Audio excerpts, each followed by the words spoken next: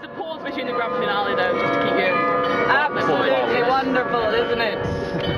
Aren't you glad you came to Munich for this? Excitement on all of your faces. Here come the knights. Bavaria in blue and white, Austria in red and white. Who will win? Do not know.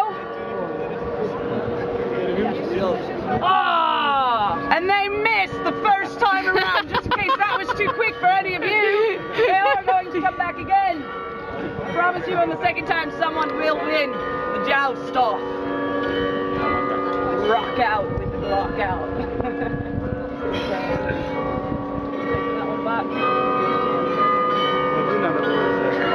I love the look on all of your faces, like, But can you imagine being a little boy in the 1900s seeing this? It was awesome. Glockenspiel was built in 1908. We had airplanes back then. This is the technology they came up with. I see people every day applaud for Glockenspiel, and I'm like, really? I had someone the other day ask me, are those real people? yes. And I was like, yes. They are trained by the city of Munich. You must be born in Bavaria to become a Glockenspiel character. It would be awesome. I do want to be a jouster really bad. I know they say there's no such thing as a stupid question. They like Lord of the Rings and Star Wars put together. Oh, oh! Austria loses again every single day, three times a day for the last 103 years. I am going to let Liz tell you about the second scene. It's far more exciting than the first. It is, indeed. Now, this one is soon going to reset, and the second one will start playing. Now, the second one is a lot better. This tells the story of the plague. Now, the thing was, when the plague hit Munich, people either died or they were afraid of getting the plague. So, what they would do is they would barricade themselves in their houses. They self quarantined themselves. The problem was, if people were locked in their houses, they weren't going to the beer halls anymore. They weren't going to the markets, and because of it, the economy went downhill. Now, when the plague was over, nobody knew because everyone was still locked in their houses. So the Duke at the time, he needed to give people a sign that it was okay to come out again. He couldn't write a sign because nobody could read. Okay? It would take too long to knock on everybody's doors. No television, no internet, no radio. So this Duke is very creative and rather clever.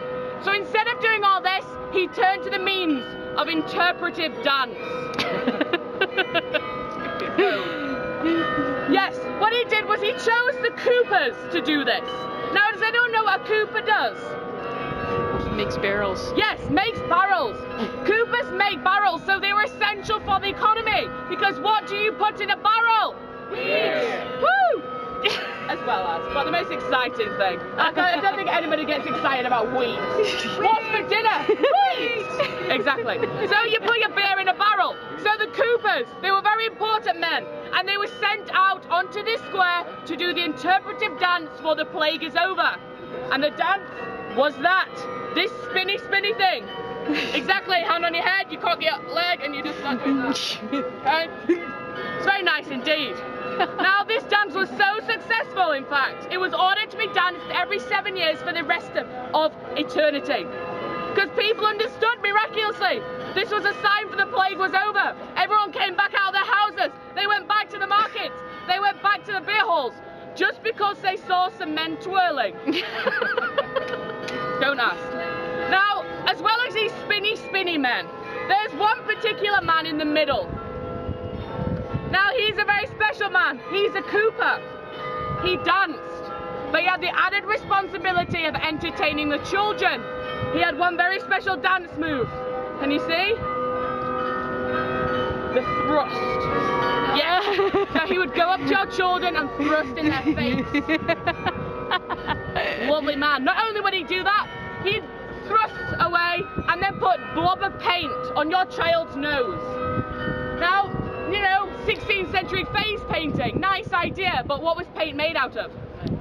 Exactly, so not only was he potentially perverting your child, he was also potentially giving them lead poisoning.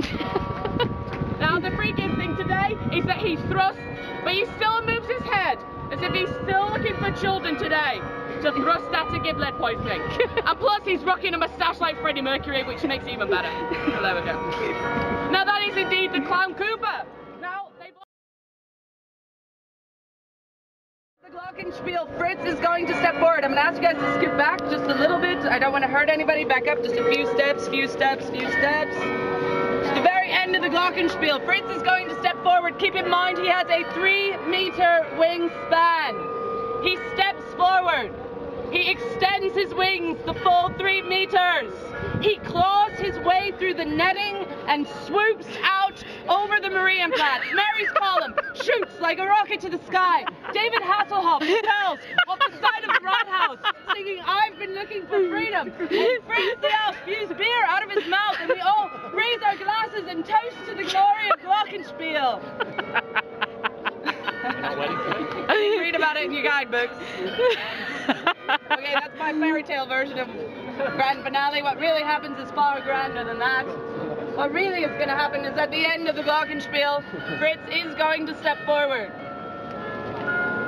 Are you ready? And he's going to do this. Err. Err. Err. For five minutes. Sweet. I, I see you looking at me like, Sonia, that sounds exciting. Thank you.